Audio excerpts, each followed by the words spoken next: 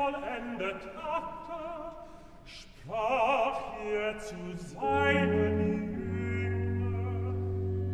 Ihr wisset, dass nach zwei Tagen Osten wird und des Menschen Sohn wird überantwortet werden, dass er gekrogen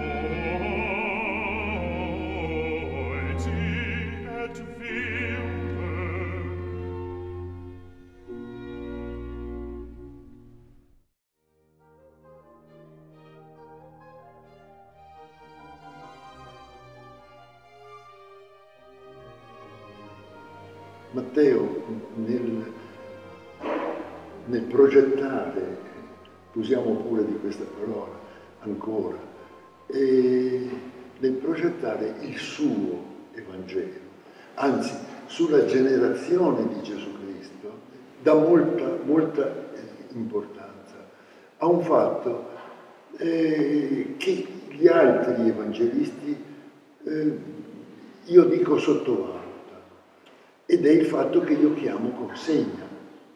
Nel greco di, di Matteo, paradosis, è dal verbo paradidomi, che significa trasmissione. Perché Matteo dà grande importanza alla, alla consegna? Intanto è la consegna di Gesù Cristo, no? Non la consegna di Gesù, la trasmissione della generazione di Gesù prima, no? e, e, poi la, la, la, costruzione della generazione di Gesù Cristo è, è tutta fondata sulla trasmissione, sulla consegna.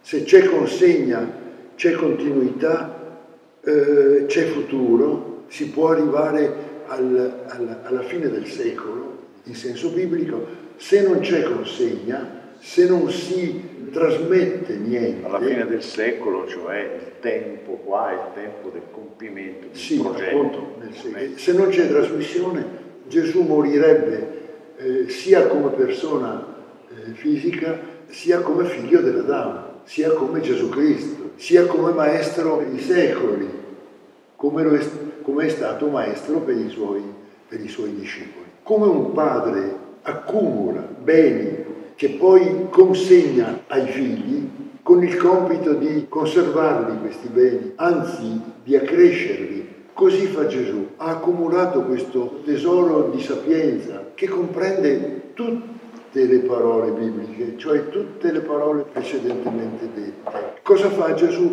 Le consegna ai suoi, ai suoi discepoli. Ai discepoli poi dice che le vuole consegnare a Israele e alle genti. E come dentro questa consegna, questa prospettiva, si situano questi momenti fondamentali della sospensione, del risveglio, resurrezione?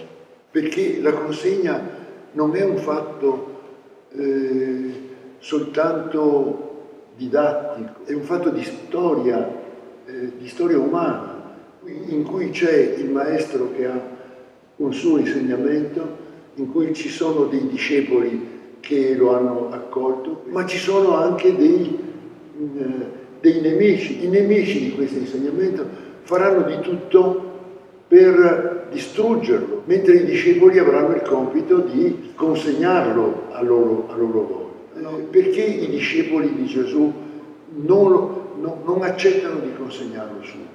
Fuggono, scappano, si rifiutano, perché Gesù ha detto loro che ha intenzione di consegnarlo non solo a Israele, di consegnarlo anche alle genti. Quest'idea li induce a rifiutare la trasmissione. Pensavano che l'insegnamento dovesse rimanere soltanto a loro. C'è un solo discepolo che accetta. Chi è il discepolo che accetta? È Giuda ecco. Iscariota. Ecco, questo vorrei sottolineare. È Giuda Iscariota, un discepolo magnifico, straordinario il quale accetta non solo che l'insegnamento di Gesù non sia proprietà sua, ma che venga dato a Israele e, e alle genti. E come ci spieghi che questo però magnifico discepolo... Questo di Matteo. Eh, sì. ma fa comunque una brutta fine. Dice a se stesso, voglio consegnarlo. Poi si domanda a chi lo, lo, lo posso consegnare perché, perché la volontà del maestro si è eseguita e pensa ai capi dei sacerdoti, i quali capi dei sacerdoti hanno già pensato di distruggere Gesù proprio nella consegna. No? Allora Giuda eh, eh, consegna, consegna Gesù, ma l'insegnamento di Gesù, ma, ma, ma, anche Gesù, lo consegna a Israele, no? Eh, ai discepoli non c'è bisogno che lo consegni, perché i discepoli lo hanno ricevuto ormai già tutto, Giuda lo possiede già Gesù, però eh, eh, è d'accordo con Gesù che bisogna consegnarlo a Israele e alle genti. Chi può essere per Giuda? Il miglior destinatario, i capelli sacerdoti. Quindi si è sbagliato. Coloro dei quali lui aveva estrema fiducia. Il fallimento del suo progetto. E creano il fallimento. Sì, sì.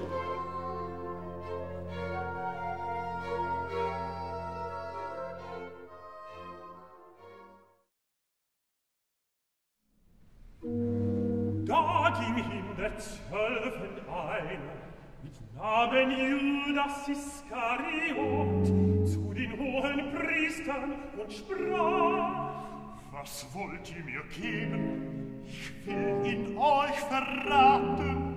Und sie boten ihm dreißig Silberlinge. Und von dem an suchte er gelegen,